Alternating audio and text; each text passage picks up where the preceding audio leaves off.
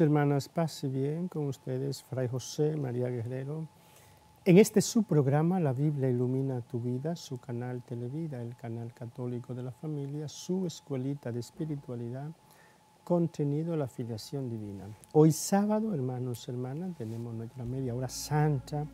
Recordarles ese compromiso que tenemos, hermanos, hermanas, de, del, del cenáculo, en todas nuestras capillas y parroquias. Esa oración a María Santísima, los cuatro misterios, los cuatro misterios, los cuatro misterios del rosario, misterios gozosos, misterios luminosos, misterios dolorosos, misterios gloriosos. Todos los sábados, el día de María, dedicado a María Santísima, hermanos, hermanas, los sábados, recomendamos en atención a los párrocos, temprano a las seis de la mañana, Santísimo expuesto, y luego concluir con la Santa Misa, hermanos, hermanos. Yo espero que cada hermano, cada hermana de esta escuelita sea un promotor, una promotora del cenáculo, que busque dos, tres, cuatro personas. No hay que pensar en una multitud, no, hermanos, hermanas. Recordemos ese texto que nos sirve, ¿verdad?, de, de modelo para hablar del poder de la oración. Éxodo 17, del 8 al 16 había tres hombres en la cima de una montaña, tres, no 50, no 60, no 70, tres hombres en la cima de una montaña. Y estos tres hombres en oración decidieron el curso de la batalla. Tres en el campo de batalla, sí, tal vez 100 hombres, 50, pero en la cima de la montaña, Moisés con los brazos en altos, solo tres hombres. Luego, hermanos y hermanas, bastan tres personas para el cenáculo. Y estas tres personas pueden decidir el curso de una parroquia, el cambio de una parroquia espiritual, misionera, evangelizada y evangelizadora, formación, vocación a la vida matrimonial, vocación a la vida sacerdotal, vocación a la vida religiosa. Entonces, qué hermoso, hermanos y hermanas, el párroco, con tres hermanos, o dos sosteniendo sus brazos. El párroco sería Moisés, con los brazos en altos, orando por el pueblo de Dios para que el pueblo de Dios venza en la batalla contra el diablo, el mundo y la carne, todos esos poderes hostiles al reino de Dios. Pero Dios siempre vence. Entonces, hermanos, hermanas, tratemos, espero, suplico, ruego, como decía Francisco, en la caridad que es Cristo. Cuando Francisco utilizaba esta presión es como algo un ruego que, brota del corazón, mi ruego brota del corazón. Espero que cada hermano, cada hermana inscrito en esta escuelita sea un promotor de los cenáculos en la capilla como una preparación a la adoración perpetua. Y cuando hay adoración perpetua, el cenáculo queda integrado en la adoración. Se traslada a la custodia eh, cada sábado a la hora del cenáculo y allí se tiene el, cenáculo y se concluye con la Santa Eucaristía. Hermanos, hermanas, recordemos, este siglo es el siglo de la Iglesia Dominicana, este siglo es el siglo del pueblo dominicano. Queremos dar un gran salto cualitativo en la espiritualidad, en la educación, en la salud, en la economía, en la política, en la justicia, en todo, hermanos y hermanas. darnos ya por fin una sociedad según el plan de Dios, educación, paz, respeto, en consonancia, en conexión con la madre tierra. vamos, hermanos, hermanas, a poner la base de este salto cualitativo. Y la base para el salto cualitativo es un pueblo en adoración. Entonces, hermanos, hermanas, animémonos los sábados. Queremos que en cada parroquia, en cada capilla, tengamos el cenáculo. Y una vez que tenemos la oración perpetua, el cenáculo queda incluido. O sea, no podemos tener una adoración perpetua donde no esté incluido el cenáculo. Y eso es fácil, ¿verdad?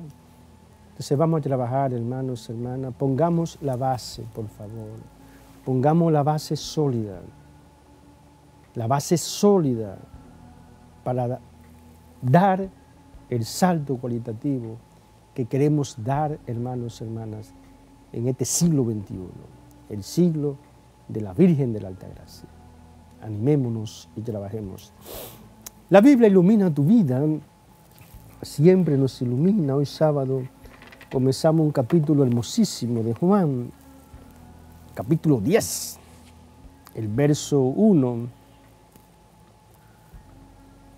dice Jesús 10.1, en verdad, en verdad os digo, el que no entra por la puerta en el, redil de las ovejas, sino que escala por otro lado, ese es un ladrón y un salteador. En verdad, en verdad os digo, el que no entra por la puerta en el redil de las ovejas, sino que escala por otro lado, ese es un ladrón y un salteador. Hermanos, hermanas, debemos entrar por la puerta,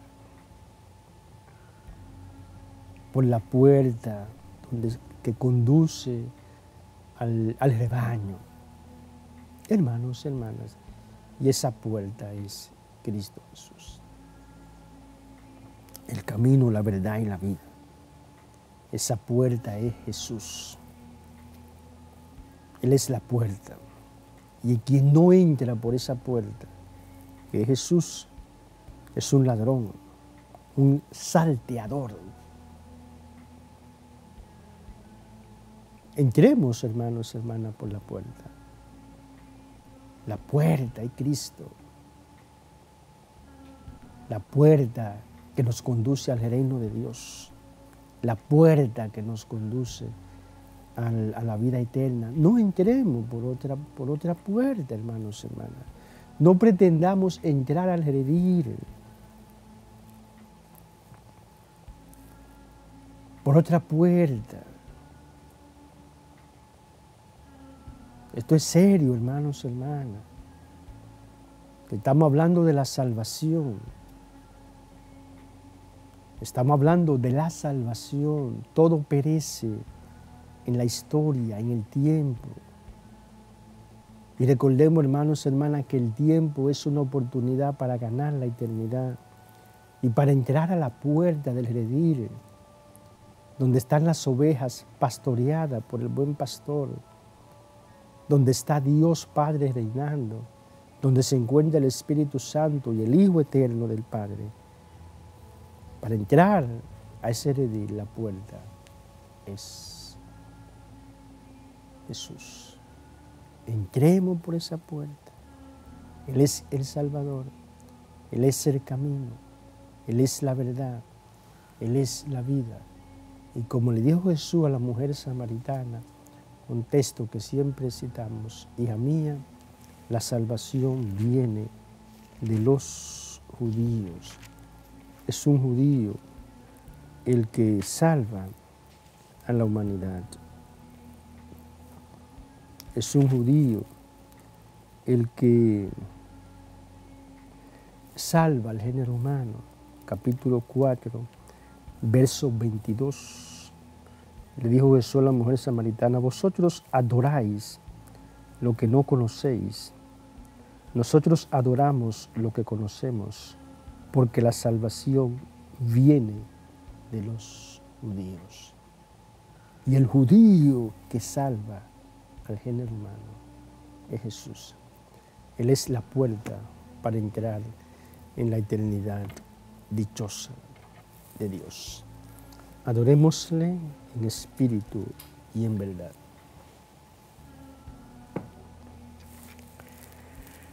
Señor mío y Dios mío, creo firmemente que estás presente en la hostia sagrada, en la plenitud de tu amor, en la plenitud de tu poder, en la plenitud de tu divinidad.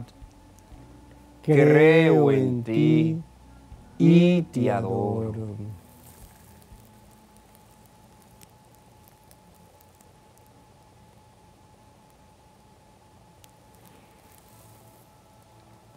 Señor mío y Dios mío, creo firmemente que estás presente en la hostia sagrada en la plenitud de tu amor, en la plenitud de tu poder, en la plenitud de tu divinidad.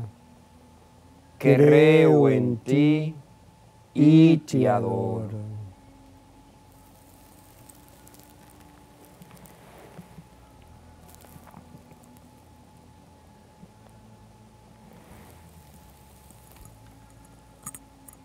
Señor mío y Dios mío, creo firmemente que estás presente en la hostia sagrada, en la plenitud de tu amor, en la plenitud de tu poder en la plenitud de tu divinidad. Creo en ti y te adoro.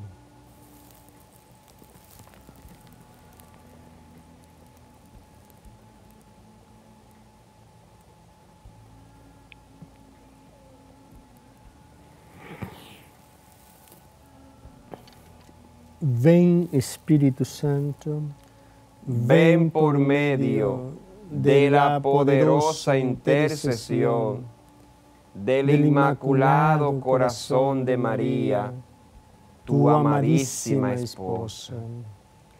Ven Espíritu Santo, ven por medio de la poderosa intercesión del Inmaculado Corazón de María, tu amadísima esposa. Ven Espíritu Santo, ven por medio de la poderosa intercesión del Inmaculado Corazón de María, tu amadísima esposa. Ven Espíritu Santo, ven por medio de la poderosa intercesión del Inmaculado Corazón de María, tu amadísima esposa. Silencio, intimidad, presencia, adoración.